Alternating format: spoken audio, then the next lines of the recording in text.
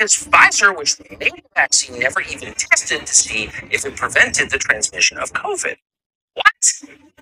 You think they would know that since Tony Fauci and everyone in the US government and everyone at your kid's school and everyone on television and Joe and all the rest of them knew for a fact that Pfizer did Well, Tucker, you are blowing my mind right now. Are you telling me that the Pfizer clinical trial, which was specifically designed to test for safety and efficacy of the vaccines, didn't also test to see if it prevented the transmission against the virus? What's worse is that they managed to keep it a secret this whole time, and now we're only finding out about it? I mean, this clinical trial right here, which was published in the New England Journal in December of 2020, the one that had a limitation section where it said that they still needed to test whether the vaccine protects against asymptomatic infection and transmission to unvaccinated persons. now, Tucker, this is what we call sarcasm because this doesn't come as a shock to any of us who actually read the clinical trial when it came out almost two years ago.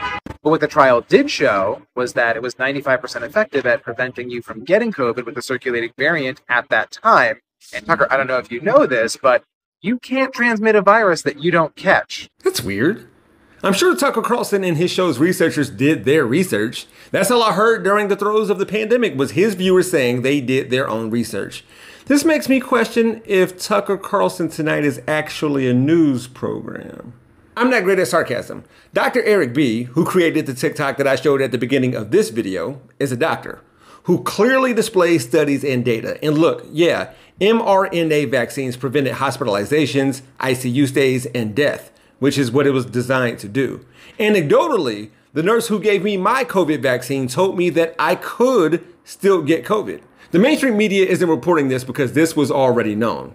Pfizer said they didn't know if the vaccine stopped transmission. They didn't say that it did not stop transmission. A certain segment of the population chose not to get vaccinated. Tucker isn't one of them, by the way, which is evident in the fact that red states and Fox News viewers died at higher rates from COVID than those in blue states and who don't regularly watch Tucker. You know, there's this passage from a Forbes article written more than two years ago that I keep in my phone as a reminder on days where I want to cut corners in order to spread propaganda to my millions of viewers on the country's most viewed cable program.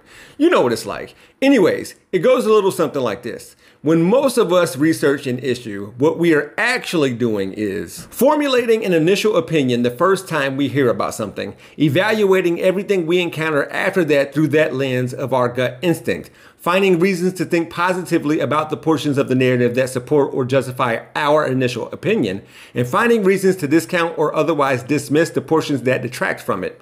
So, and let's not pretend that there haven't been a bunch of studies that have been published since the original clinical trial came out, which show that the vaccines were effective at preventing the transmission of SARS CoV 2 against the circulating variants at that time.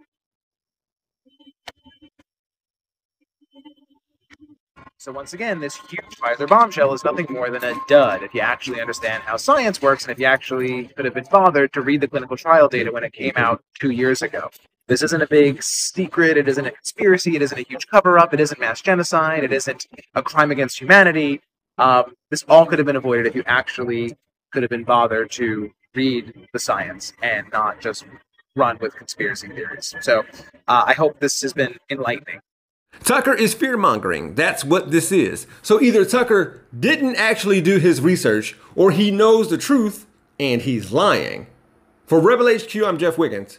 My architect knows Japanese. For more from the Young Turks, stay right here. To see additional content from yours truly, click on the Jeff Wiggins hashtag. You can also find me on my YouTube channel, We Gonna Be Alright. Thanks for watching.